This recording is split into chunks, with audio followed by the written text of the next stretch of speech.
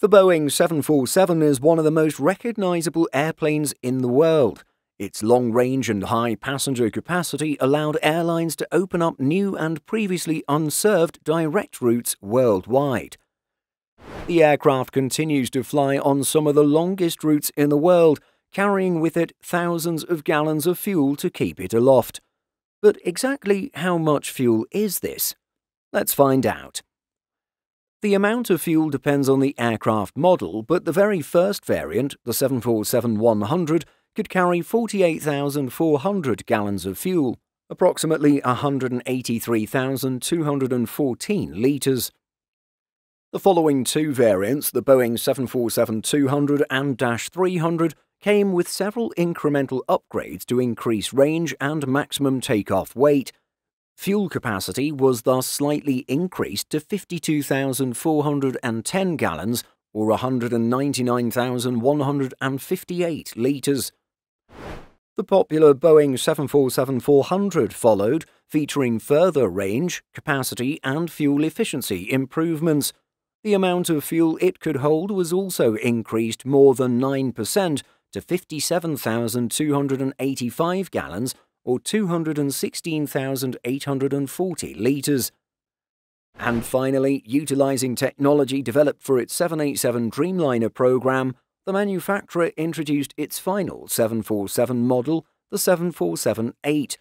The plane was the longest commercial aircraft produced when it arrived and came with a 16% increase in payload capacity.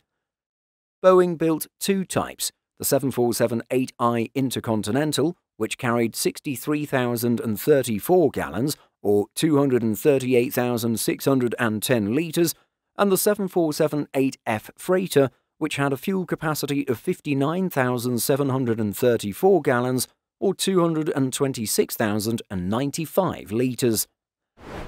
If we were to put things in colloquial terms, capacity would be a little less than 10% of an Olympic sized swimming pool which is said to hold 2.5 million litres of water or about 660,000 gallons.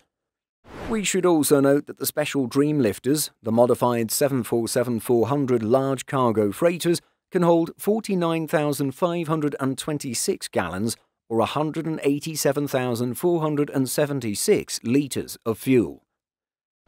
The four engines of the Boeing 747 burn around one gallon, approximately four litres of fuel, every second.